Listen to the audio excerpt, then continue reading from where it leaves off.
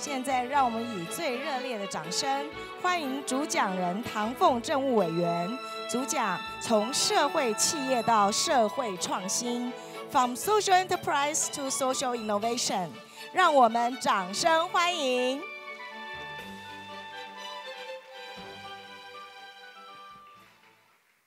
呃，福伦社的各位朋友们，大家好，大家早。呃，我的演讲啊，一向是没有固定的主题的，所以呢，要我要讲什么呢？完全看大家想要听什么。各位手上如果有手机的话，在拍完照之后，那个可以麻烦连到这个网站，它是 s l i d o dot com slido dot com。这个网站呢，进去之后呢，会跟你要一个 code，那这个 code 就是今天的日期，输入四一五，然后再输入呃 join 就可以了。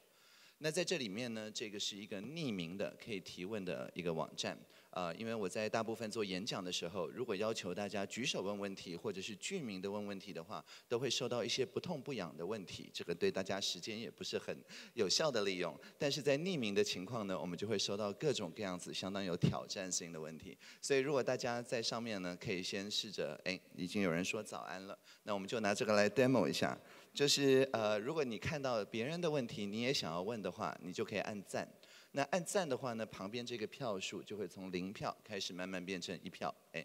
对。然后呢，在这个过程里面呢，我们就会知道说，哎，在这个呃地方，大家想要听的问题是什么？好比像如果一个问题它有十个人按赞，我一回答就相当于回答了十个人的问题，这样子对大家的时间都是一个比较有效的利用。那所以在大家还在想要问什么问题的时候，我就先花大概五分钟的时间，先把我在行政院里面对于社会创新相关的一些工作，呃，跟大家做一个基本的报告。那在报告之后呢，我们大概会有三十分钟左右的时间留给各位来进行这个问答、及时问答的工作。当然，如果大家想要这个举手问问题，还是都没有问题的。好，那呃，我们就先看一下哈。我在行政院里面呢，有三个主要的业务，一个是青年的培力，那一个是开放政府，那第三个就是社会创新。那这边呢，先用这张图片来跟大家讲一下开放政府跟社会创新的一个关系。我们在传统的过去的，就是简单来讲，就是网际网络发明以前，大家对于政府的一个想象呢，就有点像这个中间的一个绳子哈，它是要调和各个不同的社会上面各种不同势力的中间的这个关系，确保说双方都不会受到太大的损伤，是一个仲裁者的一个功能。除此之外呢，也有一个连接者的功能，就是这个绳子不能够断，断掉的话呢，社会上的朋友们就没有办法一起参与公共的这个治理。那这个模型呢，其实是大家对公共行政的一个想法，就是政府呢是把这个社会上的各个势力进行一个联系跟一个调和。但是呢，这件事情呢，在网际网络出现，尤其是当手机出现之后，这个模型受到了很大的挑战。我们在国际上看到一个趋势，就是越民主的国家，他们人民就越不相信政府。几乎可以说，人民对政府的不信任，就是这个国家民主程度的一个表征。这个情况呢，在过去十年是越演越烈。为什么呢？就是因为有了新的这些网络科技之后，这些狗啊都长得非常大了。就是说，这些社会上的各个不同的势力，他们自己彼此集结的能力、速度、强度以及回应的这个距离，都在在的都比之前要透过代议政治，要透过所谓的政务委员啊这些这个要来的快速，也来的确实。所以在这个情况下，这个压力在中间这个绳子的压力呢就越来越重。然后我们常常呢在有很多有争议性的这个政治事件的时候，就有一种快要被拉断了的感觉。那我要加入政府的原因，就是因为我们想要试一个不同的治理模式。这个治理模式呢，在国际上面，它叫做多方利益关系人治理模式 （multi-stakeholder 的治理模式）。这个模式简单来讲，就是政府不再去问说我们要怎么样做出最公平的裁判、最公平的资源分配。我们也不是只是在自问说，哎，我们要怎么样确保社会上大家都可以透过我们的转译来听懂彼此说的话。这个呢，压力实在是太大了。我们现在呢，改问两个不同的问题。我们只是中间的这个连接啊。我们问的问题，第一个是说，在各方不同的利益关系人都有不同的想法的情况下，不同的立场的情况下，有没有一些价值是大家还是共同的价值？这个是我们第一个可以问的。第二个就是说，在这个共同价值底下，大家有没有可能用创新的方法想到一些新的做法？这个做法对大家都有好处，而没有牺牲掉任何一个人。简单来讲，第一个工作是集思，那第二个呢，则是广义。那这个讲的非常抽象，所以我们马上来看一个实际的例子。我们在做社会创新的时候，我们常常会 refer 到所谓的 social enterprise，就是社会企业。台湾在过去二十年里面，相信各位应该比我清楚，有非常多成功的社会企业，他们就是像上一页的模型一样，去成功的结合了社会的力量、商业的力量、各种不同治理结构的力量，一起去让整个社会变得更好。至于组织形式，当然有的像呃主妇联盟生活消费合作社，它本来是一个 NPO，但是后来变成有一个合作社的形式。有一些像喜憨儿，它完全是 charity 的一个形式。那有一些像里仁或者一些别的社会企业公司，则是采取公司的形式。但是不管公司呃它的形式是什么，它的作用都是一样，就是结合社会上各个不同利益关系人中间的意见。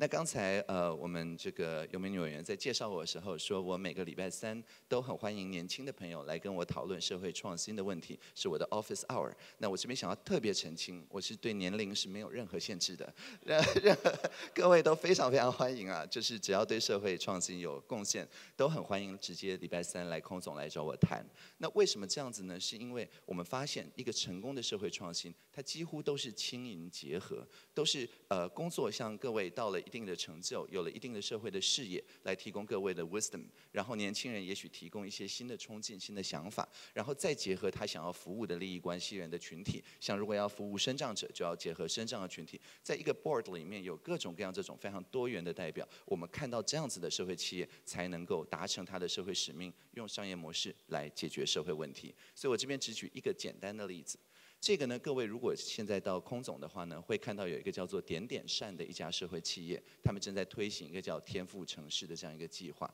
点点善这个社会企业，他做的事情就是他非常有系统性的去看社会上所有的弱势团体，然后呢，试着找出这些弱势团体呢，在某些他们熟悉的地方，他们其实是强势，我们才是弱势。举例来讲，他们就跟喜憨儿基金会合作，去让喜憨儿呢做什么呢？去画画。画像这个很漂亮的这个犀牛队长啊，或者是这些小黄狗啊，或者是猫头鹰啊，然后这个就可以在试大运，在各个不同的地方作为这个视觉的表征。其实要我画，我还画不出来，所以这个呢，就是去找出他们的一个特长。他们也跟视障的朋友合作，好比像说，各位朋友可能有听过一个叫“黑暗对话”的社会企业。这个社会企业就是大家在办共事营、在开会、在做各种有引导式的工作坊的时候呢，大家把灯全部关掉，在一个全黑的地方去开这样的共事营。这个时候呢，大家都会觉得有点手足无措，比较 vulnerable。但是呢，这个时候就会有非常有自信的引导员出现，带着大家去进行一项又一项的共事营的这个活动。那这些当然都是盲人朋友，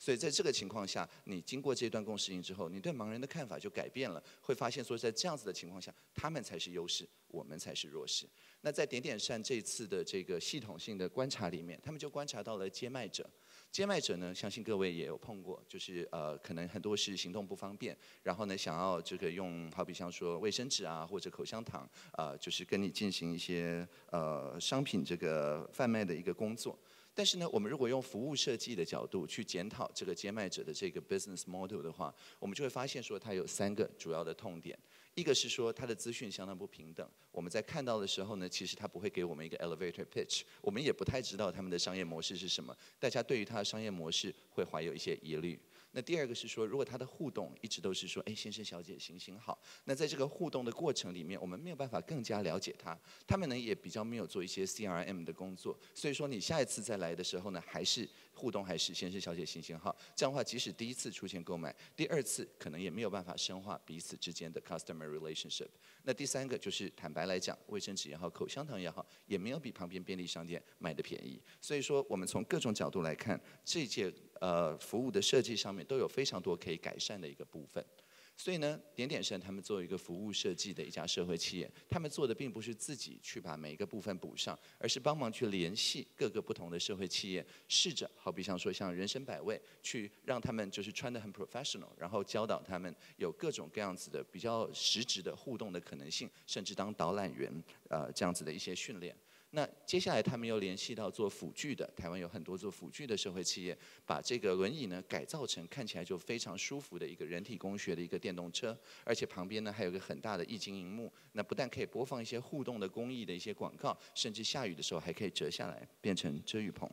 那第三个呢，他们会去跟各个地方政府讨论，好比像说台中如果要办社会企业年会或要办花博，那这个就可以结合他们当地的一些特色；又或者台北如果要当公平贸易的城市的话，就可以在这个街卖车上面放一些有特色的公平贸易的茶或者是咖啡。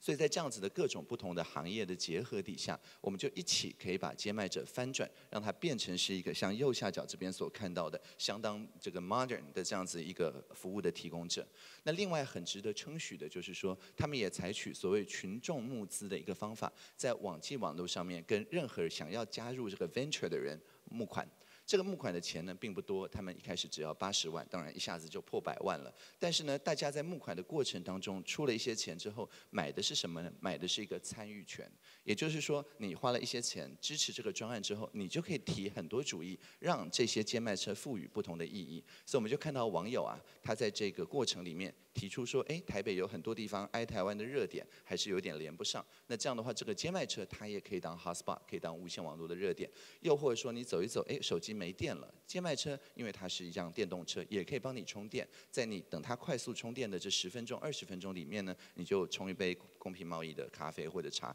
可以更有效的去知道它的生命故事。那又或者说，大家可以看到前面有置物柜，所以有朋友们设计了折叠伞的摆放方法。那下雨的时候呢，它就可以变成一个爱心伞。的一个集散的地点，也就是说，我们这个集思广益的工作不一定是要政府来做，很多时候在呃社会上面进行社会创新的朋友，透过这种把各种不同的人互相连接的方式，就可以一起反转大家对于所谓的弱势的一个形象。好，那我答应只讲五分钟，所以我们现在就回来看看大家有什么想问的问题啊，不一定要跟这个题目有关系，大家想问什么都可以问啊。OK，我们马上就看到八十四个问题，好，OK。那我们来看哈，呃，有十四位朋友呃响应我们传奇社 P E Paul 的一个问题，说要如何让网络让更多人认识、更多人了解之后，来能够加入福伦，这是非常好的一个问题。呃，我我觉得我们在网络上面最重要的事情，就是你要找事情给人做。如果像刚才的那个就是点点山的例子。如果你只有两秒钟的话，它有一支很漂亮的一个影片，让你能够在没有看完的情况下就很快分享出去。如果你有二十秒钟的话呢，它可以让你征求你对这样一个 design 哪边特别好，哪边特别不好，有一个投票的一个机制。那又或者说，如果你有两分钟的话，那你就可以看它的 business model，然后给他一些具体的建议。那又或者是说，如果你有两个小时的话，那当然你就可以实际的去在他他们的 regional meeting 或者是在网络上这个客服中心呢。实际去听他们的 pitch，然后呢，再给他们一些捐款之类的。我们重新这个连接一下这个呃 VGA 线啊。对，那所以我想这里的重点就是说，我们在网络上面，我们很容易争取到大家两秒钟的注意力。但是如果你争取到两秒钟的注意之后，没有一些二十秒的、两分钟的、两小时的、两天的事情可以给大家做的话，那这个注意力一下子就被冲淡了，大家就只会残留一个两秒钟的印象，它没有办法实际变成它的贡献，也就是它的 contribution。那这个时候呢，我觉得重点就是在大家在规划的时候，要能够去结合各地不同的力量，去把福伦的这个概念、这个精神，弄成一个大家在稍微了解之后就能够花一点点时间来做的事情。这样子的话，就可以有效的去集结网络上面各方的这个呃注意力。那不好意思，这个投影一直出一些状况，但没有关系，我们就 呃这个在有荧幕的时候我用念的好了。目前社群上面对 Facebook 如果万一没落的话，对于这个对岸的微博会取而代之。那对这件事情的看法，台湾是不是有够强大的社群平台？其实台湾在公共政策讨论上面，Facebook 它并不是处于上游的位置，它是处于下游，就是大家都已经把论述整理好了，这个懒人包都已经做好了，猫咪的表情图片都已经做好了，然后它是用来散播的一个平台。在台湾的公共论述里面，我们看到很多自己的部落格，看到 PTT，看到甚至是 Twitter，在这些服务里面呢，其实他们都是居于在 Facebook 的上游。所以呢，即使大家现在不用 Facebook 了，大家比较去用 Line 或者是用其他的通讯软体。我们在上游的这个公共政策论述上面，其实我觉得并不会受到非常大的影响。也就是说，不管它用来传播的这个呃空间在哪里，我们只要确保上游有一个大家可以很 reasonable 讨论的空间，我觉得这个呢就比什么都重要。所以我自己呢，在我的业务上，我自己也去加了这种呃公众公空间的讨论平台。那呃，大家可能有听过这个叫做 Join 平台，就是公共政策网络参与平台。它除了是台北市 iVoting 以及其他地方县市的参与式预算的这个平台之外，它也让审计部的朋友们在每一次我们要公部门做创新的时候，好比像说以前都是庇护工厂，但是我们做社会企业的时候呢，我们有时候会把公有的这个需要活化的地方，用每个月一块钱。呃，便宜的租给社会企业，让他们来创造更多的价值。这个时候，监察院审计部就不知道要怎么审计了。但是呢，他如果是要挡我们的话呢，整个社会就无法进步。但是他就是透过这种公众参与平台来问大家说：，哎，你对行政院这种新的做法有没有什么疑虑？我们会把它整理成各位九个疑虑之后呢，一起。把它给负责社会企业的政务委员，就是我啦，来进行回答。那我回答之后，他们据这个来拟出新的审计原则。那我觉得这是一个非常好的一个呃对公民的力量的一个使用方法。那当然呢，我们在上面也有相当多的联署案，就是所谓的提点子。在这个联署案上面呢，大家都可以提出一些具体的建议。像我们去年在报税软体这个五月一号大档机的时候呢，就有人在上面这个提案说，报税软体软体难用到了爆炸，它只照顾 Windows 的使用者。所以我们就把这些呃吵得最凶的朋友，我们说会吵的小孩要邀进厨房啊，我们就全部都邀进来，然后一起设计了今年的新的报税软体系统。那我们在这上面呢，大家透过联署都可以影响公共政策。那另外在众开讲这边，我们所有的法律法规的预告都会在这个众开讲的系统上面，呃，预告六十天来让大家讨论。但大家可能比较不知道的是，我们还有一个叫做来监督的系统，也在同样的一个平台上。从这个月底开始，所有各部会只要用到各位的纳税钱的任何计划，他们部会自行列管的计划，通通都会跑在这个平台上面。任何人都可以看到说，我们所有的施政计划，每每季关考，每月关考，但。开了哪些标案？它的执行状况怎么样？所有目前行政院的一千两百四十六个计划都会。呃，公开在这边，然后让大家能够进行追踪，更进行讨论。所以呢，我想我这边想要回答这个问题，就是说，我们只要一直创造这种能够就事论事的讨论，具体的把公共政策变成大家可以分享的话题的这些上游的论述的空间，它不管下游的传播的空间再怎么改变，我们都还是有能力去把大家的意见去把它集合起来，一起做成公共政策。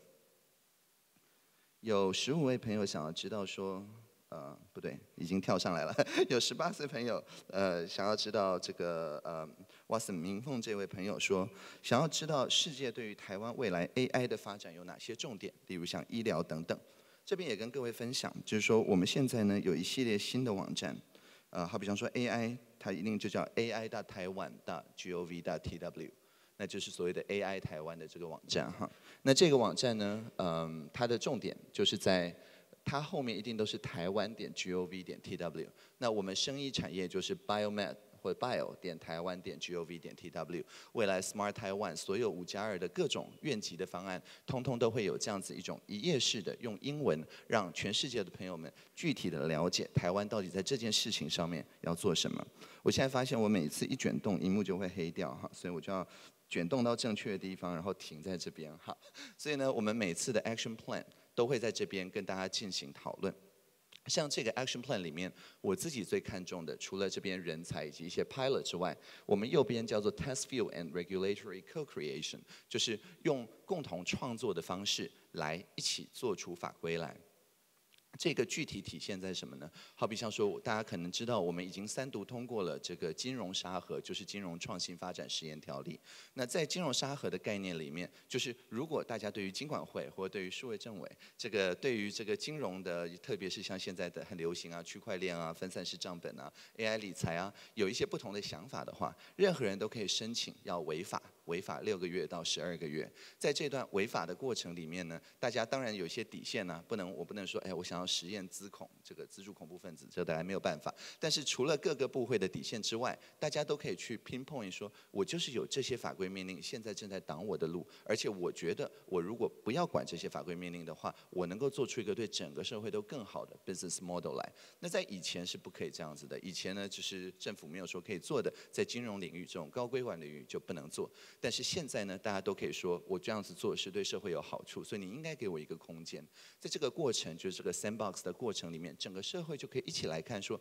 在你的这个 p u s 的这个最高额有一个 limitation 的情况下，这到底对社会是不是一个好事？过了六个月到十二个月之后，如果社会都觉得这是一个好事，我们就有了一种新的业态，我们就要调整我们的法规命令跟法律。但是如果到了六个月、十二个月之后，哎，这不是一件好事，社会上觉得说这真的没有增加大家的社会的认同感，那这样子的话呢，哎。这个就感谢你帮大家付了学费，接下来就不要再做这件事情了。所以呢，我们就是有系统的这个违法的方式，让大家一起带领我们的法规命令跟法律系统往前走。所以在 AI 上也是一样，我们应该下个星期就会送一个叫做呃无人载具创新实验条例，简称这个无人载具沙盒啊，进立法院。同样的道理，我们现在就在空总的社会创新实验中心，整天都有无人车、三轮车啊开来开去。因为三轮车用的是行人的路权，所以说现在在我们不需要特别的法规命令，它就可以呢在行人行道上面呢跟大家互动。而且呢，因为它用的这个技术非常便宜，而且是开放源码，意思就是说任何人都可以自己看，然后自己加以改动。所以就有很多北科大的学生呢，自己就在三轮车上面呢画加了各种各样他的眼睛看哪里啊，怎么样跟这个大家。互动啊，这样子透过这种 co-creation 的方式，大家才会慢慢能够理解到说，我们要怎么跟这种在路上跑来跑去的新物种互相互动，他怎么了解我们的意思，我们怎么了解他的意思。所以像这样子一种共同创作的一种沙盒的空间，就是接下来我们让 AI 在融入社会的时候，不是因为某个这个很英明的政委很 top down 说，哎，接下来在这一区就一定要怎么样，而是说让民间的需求能够充分的反映到我们的社会的跟科技的发展上面来。所以这件事情呢，不管是在无人载具上面，或者像这位朋友关心的，在医疗上面，或在任何其他地方，我们都是透过这种法规共创的方式来工作。那如果想要知道详情的话，话就请参考 AI 的台湾的 gov 的 tw。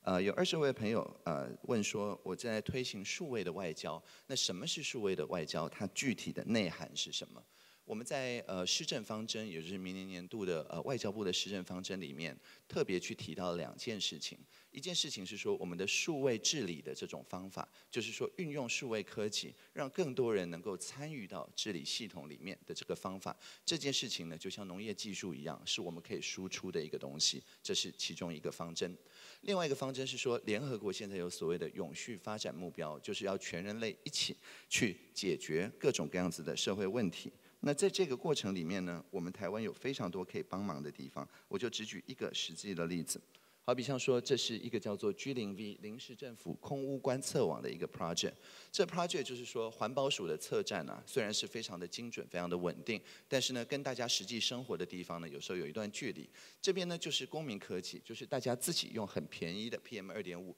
或其他的一个观测器，自己在自己家的阳台、在学校、在办公室去设立了这种观测点。它虽然不是非常的精确，但是呢，当一个地区有非常多的时候呢，它可以呈现出一个整体的趋势，甚至还有做无人机的朋友在测站上空一百米、两百米、三百米去测这个空气里面的呃，就是空气污染的状况，这样才能够知道说每一天到底它是境外移动还是非移动的污染源。所以目前呢，在台湾已经有超过两千个不同的测站。这个呢，为什么我们在外交上面非常有用呢？就是因为每一次当公民社会自己组织起来，自己解决自己的社会问题的时候，在亚洲其他的国家里面，不要说两千个策站了，只要到两百人就会被请去喝茶或者是查水表了。因为这个它是威胁到政府的可信度，它这个工作到一个程度的时候，它跟环保署之间的权力关系就会开始紧张。但是呢，台湾呢，我们是有完全的言论自由跟完全的集会自由的一个地方，所以呢，政府呢每次碰到这种威胁到政府可信度的公民科技的社群的时候呢，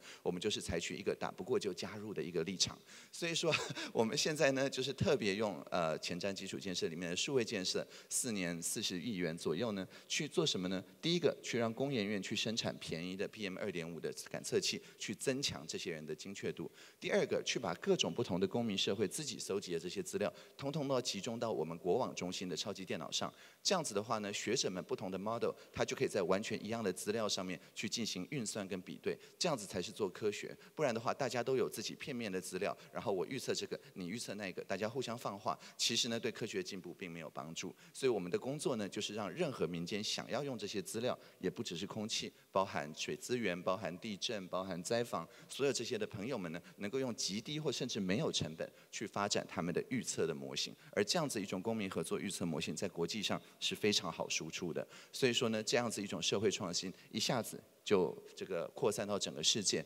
那我们在好比像说，呃，我即将用远距的方式去土耳其的这个 GEC，就是创业的这个国际社群去演讲，像这样子的东西，我们就非常容易输出到全世界各地，甚至是解决大家的一个问题。所以像我们的这个 Presidential Hackathon，就是我身上这件 T 恤啊，就是要让这个整个公部门的朋友、私部门的朋友、公民社会的朋友。一起用三个月的时间，从三月到六月，去把像空气盒子这样的题目，透过总统来当我们的 project manager，所以就应该没有调不到的资料哈，去促进这样子的各种不同跨界的一种沟通，然后具体解决二十个社会问题，这是今年的。那所以甚至像纽西兰呢，他们在透过外交系统也表示兴趣，希望我们这二十队里面呢，这个有一队可能英文讲的比较好，在这三个月之后，直接去他们那边跟他们的政府工作三个月，然后把我们这边的 presidential hackathon 的团队跟他们 GovTech Hackathon 去进行结合，所以这个呢也是我们外交上面非常有利的一个做法。所以我想针对联合国的永续发展目标，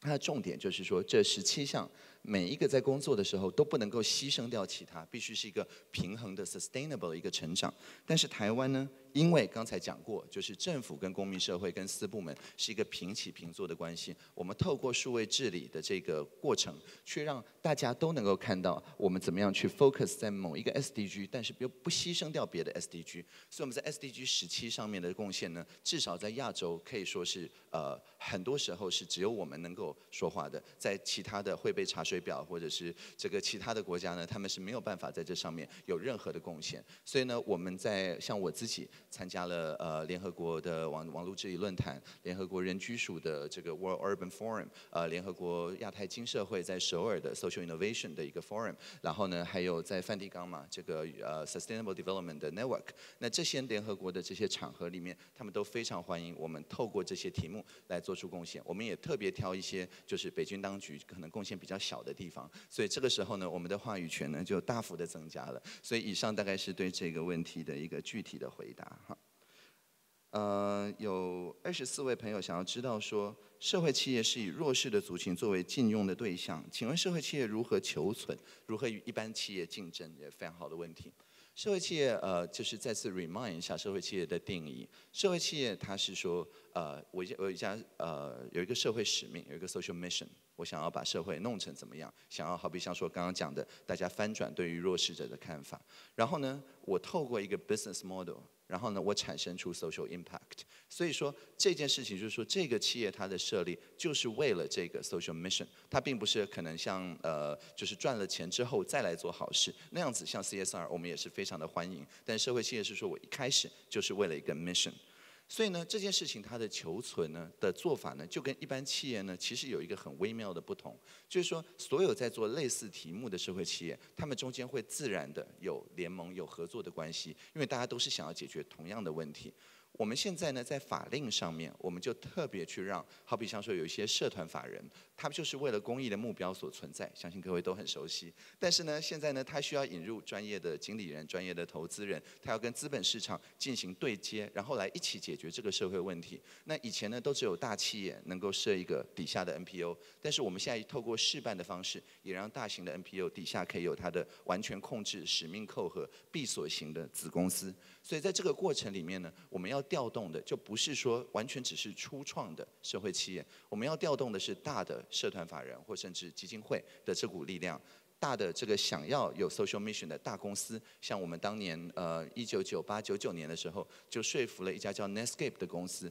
去把他们的浏览器叫做 Netscape Navigator，它整个都公开出来，变成一个社会企业，叫做 Mozilla Corporation。那它做出来的 Firefox 这个浏览器，它就打败了 IE 的这个微软的 IE 的这个垄断。然后呢，每年呢现在还是赚几百亿新台币啊。可是你去看它的首页，它就说哦，我们是一家社会企业，我们赚的所有的钱，每年几百亿都投。投入我们的 social mission 里面来，所以像这种，你如果说服这种超级大的像 Nestle 公司，这个放下屠刀立地成佛的话，那这个呢也是另外一个做法。所以说我们在做社会企业的时候，我们有各种不同的 angle。那甚至像今年这个合作社的运动，在内政部要开始复兴了，所有这些部分，大型的合作社等等，都是社会企业生态系的一部分，它并不是只限于初创的或者新创的企业。那初创的新创企业在接到这样子一个 network，不管是 CSR network、BD 的 network，刚刚讲的各种不同的这个 sub movement 的 network、B 型企业的 network、有努斯形态 network 之后，它就可以在这个生态系里面找到它可以 focus 的位置，而不用像就是一般的企业一样，它在初创的时候，它要自己处理非常多的部分。所以这个合作式的这个经济、社会性的经济的这个方式，确实是跟纯粹竞争式的市场经济是有一点不一样的。这也是我们现在在辅导。新的社会企业的时候的一个重点，我就知道会有人问我这个。这个郑一婷老师，呃，这个在这个参选台北市长的这个证件啊，我我呃，我跟这个嗯 X 代就是呃郑一婷老师，其实在社群里面并没有太多的接触，呃，主要是因为我我我发展的技术跟他发展的技术比较没有重叠。那但是我我当然是这样觉得啦，就是说呃，我们越让大家可以看到说，其实参选台北市长是一件就是大大家的公民的一个权利。那我们就更让大家可以看到说，哎，那对任何人对市政有什么主张、有什么意见，或甚至对国家有什么主张、有什么意见，大家就很自然的提出。我觉得这是一个公民社会深化的一个表现。那所以，我我自己是觉得说，我们越多这样子的 advocate，就是这样子的倡议者，他透过参选来表达自己的理念，我们就越把政治这件事情，它就是真的是融入大家的生活当中，而不是变成是好像只有极少数人才能够做的事情。它对于除魅，就是 demystification 啊。我觉得是蛮有帮助的。那呃，有一位叫做 Switch 的朋友说，是不是觉得这个呃福伦社的演讲前面有太多贵宾的致辞？哈，这个这个果然是要匿名才能够收集到的问题啊。对，呃，我我我是觉得还好，因为我我对于这个这样子 新成立的这样子一个一个组织形态，我就是透过刚刚听大家的致辞跟演讲来做进一步的了解，所以至少对我自己的学习是呃蛮有帮助的啦。那所以我我是觉得还好，并没有特别这个特别冗长哈。要是有的话，我也是会讲的。呃，嗯，P P Arlo 想要知道说，中国的骇客攻击台湾，防备力是否能够承受？台湾骇客能否侵入他国去攻击系统？非常好的问题。不过呢，我想跟大家先沟通一个观念，就是说，呃，我们在做 cyber security 的时候，重点并不是说你永远打不下来，或者是说你有没有能力去打对方，重点是那个纵深。就好像说，大家在呃住在家里的时候，会有大门，会有内门，会有自己的房间门等等一样。我们在这个过程里面，只要任何时候有人能够进到第一层，我们马上就知道，然后去跟他进行一些对应。这样子的纵深才是治安的最重要的一个重点。那我们现在当然治安，我们有很周全的一个计划。我自己在进入政府的时候，我就自己带了一个治安的 product，叫做 Sandstorm，自己进政府来这个运用啊。所以说我们在做这些工作的时候，我们有两个重点，一个是说我们是用开放的 open source 的方式，在国际上面大家都已经验证过这个软体的 cyber security 没有问题，然后我们才把整个团队的工作，好比像说像我每天醒来啊，我不一定要在行政院，不一定要在办公室里，为什么呢？就是因为我所有的这个同仁们，每个人正在做什么，他们现在工作进度到哪里？所有这些东西啊，都是在这个线上的工作平台上面的，所以呢，这件事情呢，就可以确保说大家 on the same page，然后呢，有一个概念叫做 working out loud，就是说我不怕别人知道我正在做什么事情，这样子我只要一需要这个别人帮助的时候呢，别人就可以很容易的来进行工作，这是第一件事情，就是内部的跨系统的整合。第二个部分是说，我们在建立这个呃系统的时候呢，我们就有请国内这个最尖端的骇客，就是呃，我好比方说 DefCore 的朋友，他们曾经呃在去年吧得到这个国际 DefCon，就是最大的骇客竞赛的国际的第二名，总统也接见过的，我们就请这些这个国手们呃来打这个系统，然后他打呢就不是只是试着打打看而已，是好几个月的时间，对里面的城市一行一行的去看，找到任何可能的漏洞告诉我们，然后并且去修补。那他们最后的结论是说，这真。真的是一个很安全的系统，有一些小小的瑕疵，但是我们这些都修复了，没有什么严重的问题。为什么我们要一直花这个各位的纳税钱来请这些高手们来试着打这个系统？就是所谓主动式的这个呃 penetration testing，就是侵入测试、渗透测试呢？因为我们。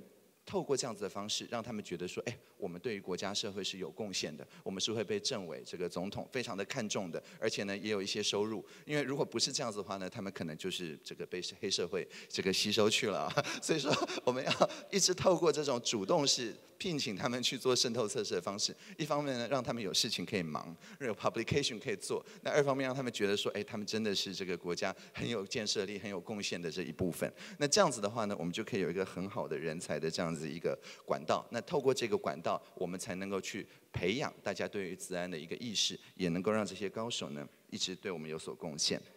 那因为现在只剩好像两分半钟嘛，所以这个问题，其他问题我就没有办法念出来，我就尽可能快问快答哈。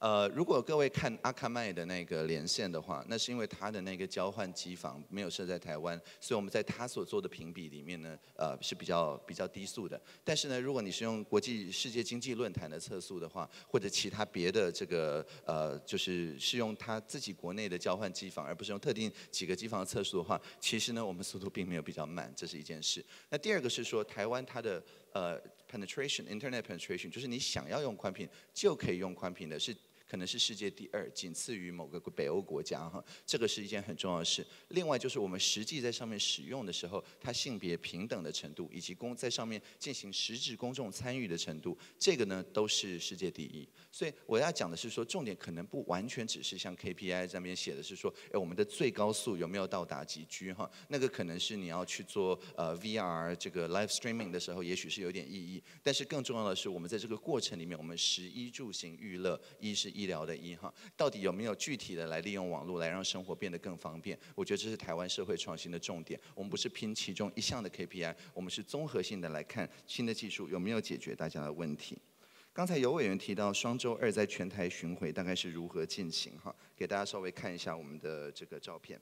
这个是空总那个社会创新呃实验中心，我们社创中心。这个足球场也是这个喜憨儿画出来的哈，这个真的是他们优势，你要我画是画不出来的。Anyway，那我们这个空间呢是所有的一百多家社企一起设计的。他们说要每天开到半夜十一点就开到十一点，他们说要厨房就有厨房，要有大厨就有大厨，然后要有这个完全开放式的白板的空间，然后呢要政委呢这个每个礼拜三早上十点在这边待到晚上十点哈，所有这些都是用用。反映需求式的方式加以满足。然后呢，当时这个呃赖清德院长来开幕的时候，就说我上面应该贴一个门诊时间表，所以我们就用一个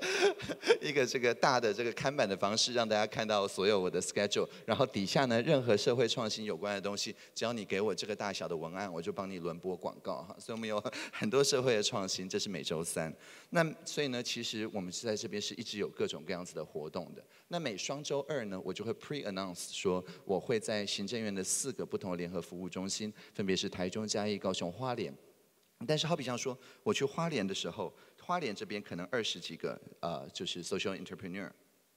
台台东在台东大学可能又有四五个人。然后呢，在台北呢，就同时有十二个部会，所有跟社会创新有关的部会，大概二十四位的承办的朋友，他们按照每一次巡回会议大家提出来的具体问题，好比像说有一个社团法人他想要设立子公司，好比像说有一些农社企他想要这个突破一些这个什么肥料的这个法令，或者是总之就是说，当这些社解决社会问题的朋友遇到了问题，我们应该不是说冲去。代替他们解决社会问题，我们应该是帮这些解决社会问题的朋友解决他们的问题。尤其当他们的问题是政府造成的时候，我们更能够透过这个法规松绑，透过各种解释，透过联席会议的方式来快速反应式的解决他们的问题。所以，任何人都可以提出他在社会创新上面碰到的一些阻碍或待厘清的事项。我这边的 promise 就是，他我去他们那边的时候，台北一定有相应的承办人在那边去跟他进行直接视讯的对话，所以我们就可以第。一手的看到他们所在的地方，很多朋友会把我带去，好比像说原住民族的部落啊，好比像说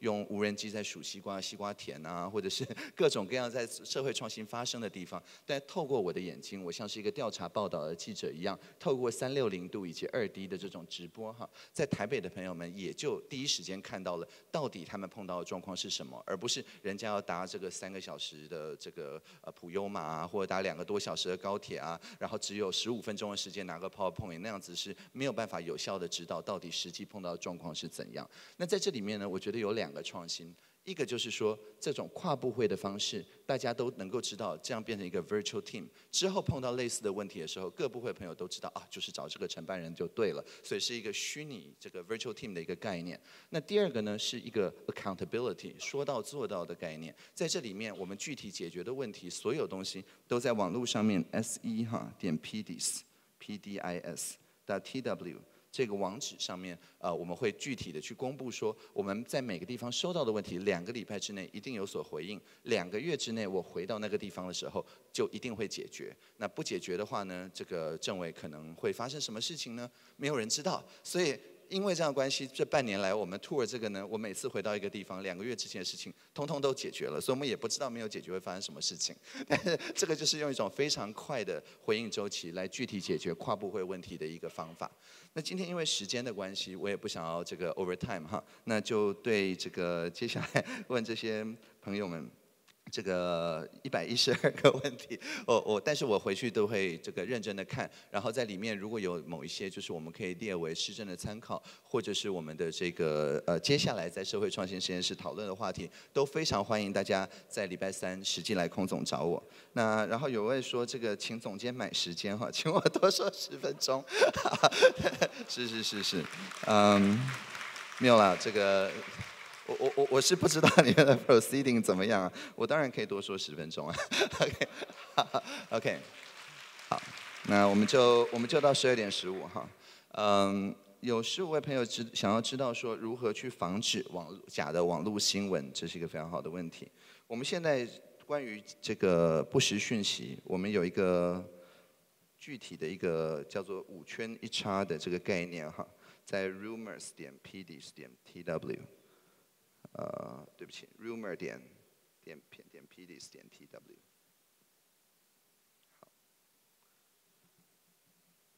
哎，简单来讲，就是网络的争议讯息呢。它基本上就是有点像是一种流感的一种概念，就是说，在以前大家看报纸的时候，会左边有一个版面，右边有个版面，有所谓的平衡报道。但是呢，现在呢，大家是用手机看，即使它这篇文章里面上半部跟下半部有试着做平衡报道，也没有用。大家在各种内容农场或各种转发的消息里面，都会截取断章取义，符合自己观点的那一段，然后呢，可能没有看完就分享出去了。在这个土壤里面，我们是分享比看完一件事情还要容易的一个土壤。那这个土壤在之前呢是没有发生过的，所以这是一个新的传播媒体的一个情况。我们为了适应这样一个情况，我们的简单一句话讲，就是说，我们想要让事实的传播比谣言的传播来得容易，而且来得快。各位可以想象一个状况，就是说，如果你有一个朋友，你们每个每个礼拜都约来这个在福伦社聊聊天啊，或者一起打个篮球啊，一起看个电影啊，一起喝个下午茶。那你在跟他见面之后过两天，你就听到这个别的朋友说，哎，这个朋友怎么怎么样，发生了什么样的事情，好像有一些负面的谣言。那你马上就会打电话跟他求证。你就算打电话联络不到他，你也知道说，哎，你下个礼拜你们见面的时候，这件事情就可以谈开。这种时候谣言就不会传，因为到你脑。里你就会觉得说，哎，我要先查证一下，查证完之后，我再把这个东西传出去。但是呢，在以前呢，政府跟人民呢，如果距离非常远，你只能透过部长信箱，可能两个月之后才回你，回的还没有回到位哈。这个时候，你的关系当它没有很好的时候，谣言就有滋长的这个温床。所以呢，我们的做法非常的简单，就是说，我们不会去立法或者是修法，去说，哎，谣言一定不能够在网络上面散播，因为毕竟我们是这个有言论自由的一个国家。但是呢，我们会让媒体资讯素养变成我们十二年国教的一部分，大家都可以要学批判性的一个思考。那更重要是说，我们要及时的去把所有的谣言的及时的回应。像我们在这个跨部会有一个叫做争议讯息澄清的专区啊，我们所有的这个各部会这个。最近被什么谣言所困扰，他们就会第一时间的发到这样子一个专区来，然后呢，让在 Google 搜寻或在任何其他呃新闻记者要做查证的时候，第一时间就能够到这边来看到我们最近在澄清什么讯息。除此之外呢，我们公民社会像呃 G 零 B 零市政府，不是只做空屋观测网哈，他们也做一个叫做 CoFacts 的这样一个叫做真的假的的这样一个 Line 上面的一个 Bot。那就是说，如果你在 LINE 上面把一个真的假的加进一个朋友，然后呢，你就把某个谣言传给他的话呢，他就会告诉你这个到底是真的还是假的。那这个相当的厉害，就是说他有一个回应的一个列表，就是所谓的谣言的一个资料库。那这个资料库里面呢，大家就可以去看到最近最常在被转传的各种什么柚子皮可不能跟什么东西一起吃啊，还是什么负离子的功效啊，这个还有什么一堆有的没有这些东西啊，这个所有这些部分呢，他们有一个社群，有点像维基百科一样。一起去维护这个谣言、及时谣言查证的一个资料库。那在这个资料库里面，大家就可以一下子就可以看到说，呃，什么什么果核吃水果要注意，果核咬碎，还是什么？这里面有很多食品相关的了。对，这个不要看看太久，这个会有精神污染。但是 无论如何，就是说，只要有这有点像是 email 的那个垃圾邮件一样。第一批收到的人里面，只要有几个人把它标注为垃圾邮件，之后的人就会可以看到说具体的到底这些事情，呃，有什么方式可以查证，有什么东西可以去告诉他们说啊，事情上不是这样子，所以就很欢迎大家这个加真的假的这个 Line Bar 当做朋友，然后呢，也很欢迎大家如果有空的话，可以参加这个公民社会，他们完全没有拿政府的钱啊，也没有用政府的人，用这种方式呢，一起去做这个事实查核的这个工作啊。呃，有二十位朋友们想要知道说台湾未来哈年轻人的机会在哪里？非常好的问题。我们现在呢在呃社会创新实验中心，我们看到非常多年轻人，他的工作呢就是想要对这个社会造成一些正向的影响力。那我举一个实际的例子来讲，就是呃我我的这个头发烫头发这个地方啊，叫做好剪裁，是才能的才，它是一家社会企业的理发店。然后呢，我当时呢去找的时候，就是我找社会企业名录，看到有剪头发的，我就跑去，但我不知道他们是做什么的。然后呢，就帮我洗头发的那一位这个呃服务员呢，他就跟我说他是台南人，然后呢他学了这个法医之后呢，他在一零四上面看这个各种各样子的求财的这个讯息，但是呢他只有投履历到这一家，他并没有投履历到任何别的发廊。为什么呢？就是因为这是一家社会企业。那他的社会使命到底是什么呢？他就是确保说这些。技职的学生能够有一个很好的一个 progression，他在洗头发的同时，每个礼拜会有训练的课程。这个训练课程，他到了某个 credit，呃，通过某个考试之后，他就可以变成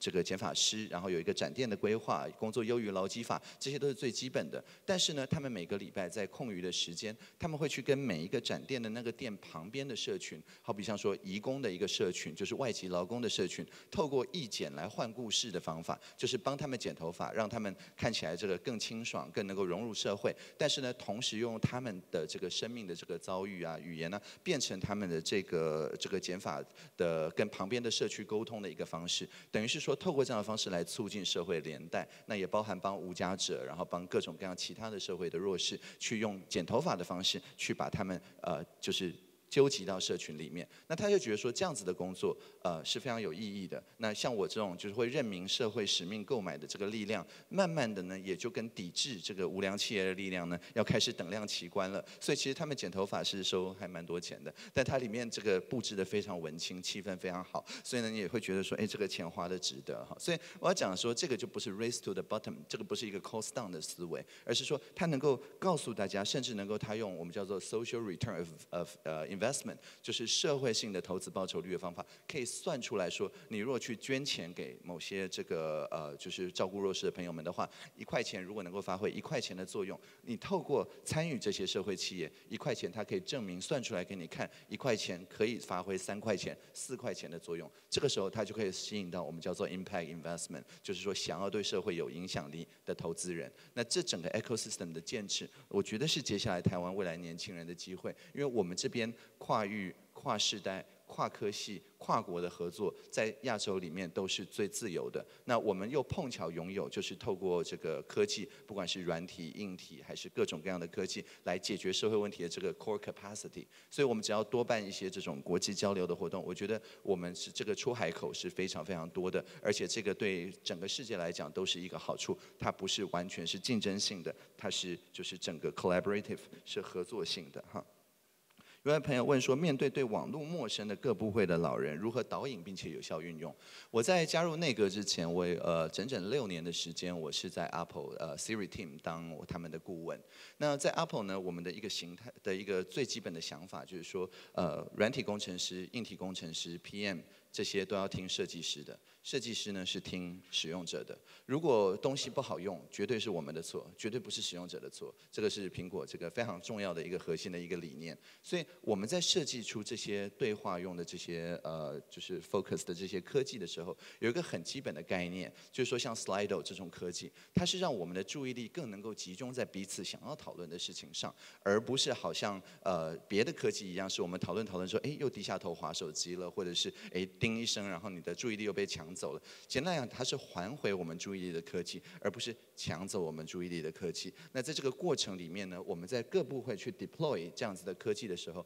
我们都会非常注意说，如果有些人用起来不习惯的话，那我们用他们习惯的方式来做。像我用 iPad，然后用 Apple Pencil，那这个呢，对很多我的这个同事来讲，他们就比较能接受，因为就是用用纸笔的这个习惯嘛。也就是说，我始终觉得说，我们在引入科技的时候，我们还是要。凝聚社会的共识，解决社会的问题，在这个过程里面，只要让任何一个人觉得他被排除了，那我们这个科技就不是一个很好的导入的一个方式，这是所谓的 inclusion，这是所谓的普惠。所以这个过程里面，当他们又透过他们习惯的方式，好比像说透过视讯啊，实际去看到这个，像我去台湾各地的时候啊，各部会的朋友们看到之后，他们就发现，哎，事情可以这样做，这样真的更省成本，而且呢，这样子你建制一趟的这个成本呢，其实两趟高铁票就把就赚回来了。所以在我们这样子 tour around，然后去做了这种视讯会议之后，现在整个行政院接下来就会有视讯会议的操作要点，那这样各部会的同仁就可以更这个有效的在内部去进行协作，甚至我们也在跟立法院的朋友谈，因为很多好比像高雄的立法委员，他们也是很可怜，就是一醒来早上，然后就要赶高铁，然后去执询，执询可能只有十五分钟，之后他又马上要赶回去，然后去跑他当地的行程，可以说是大部分的工作可能都要在高铁上面完成，有时候一天要跑三四次。那如果能够用远距的方式去进行执询，或者是去去进进行各种会议的话，其实无形之中也是我们目前赖院长所说的首都减压。所以这些东西我们大概都在规划，然后先在行政院里面。去把它完成。有二十位朋友想要知道说，电子支付是否可以普及化，是否有必要性？我们能不能够克服各自跟个人隐私的问题？这边做一个观念上面的厘清哈。电子支付的意思基本上是不是用纸钞，就是它不是用 cash，不是用现金，就叫电子支付。所以呃，悠游卡也好，一卡通也好，这个感应式 Visa 卡也好，这些都叫电子支付。那大家会这个常常在比的那个 KPI，那个叫行动支付，就是说你在支付的时候，你用的是一台电脑，就是你手上的手机，而不是只是一张能够读写的一张卡片。那电脑它当然可以做运算，可以刷脸、刷指纹、刷各种有的没有的东西，这个它当然可以做更多的事情。但是在台湾，我们因为电子支付实在已经做得非常好好了，所以说行动支付呢，当然只有在它比电子支付要来的方便的时候，大家才会去使用。所以我们现在推行的方式，也不是呃，我之前。常常在这个开会的时候开玩笑啊，说你如果只是要冲行动支付的支付率的话，那非常简单，我们禁止超商设置提款机。然后呢，我们说接下来一年不抓伪钞，那这个 行动支付的这个就像是非洲很多国家，啊行动支付马上就这个到达百分之九十五了。那但是这当然没有意义啊，就是说我们现在要做的是说，我们要让大家看到说，行动支付的过程里面是不是也跟电子支付一样，像这位朋友关心的，能够保障各自、保障个人隐私，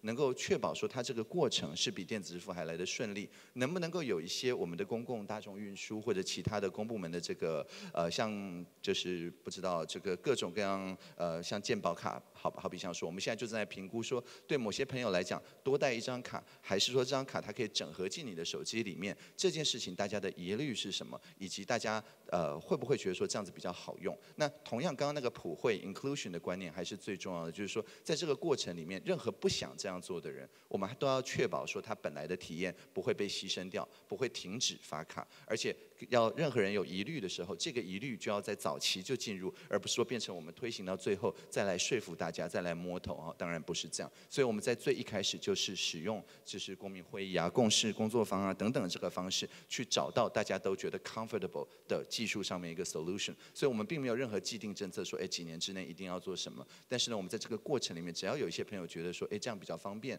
而且也可以被说服说他没有各自的资安上面的顾虑的话，我们就会往这个方向走。这个跟刚刚讲的沙盒的概念也是相同的哈。好。那呃，这个有很多朋友还是说这个意犹未尽啊。那但是因为时间的关系，我刚刚也只说这个多讲十分钟，所以我想还是不要耽误大家用午餐。那各位如果有任何这个额外的问题的话，随时都欢迎到我们 PDS 网站上面提问，或者是礼拜三直接来空总找我。谢谢大家，谢谢。让我们用热烈的掌声感谢唐凤政务委员为我们带来这么精彩的演讲。唐凤政务委员，请留步。大会准备了纪念品要送给您，请总监 Skin 上台致赠主讲人纪念品。总监，请。我们准备了琉璃及感谢状要赠送给唐凤政务委员。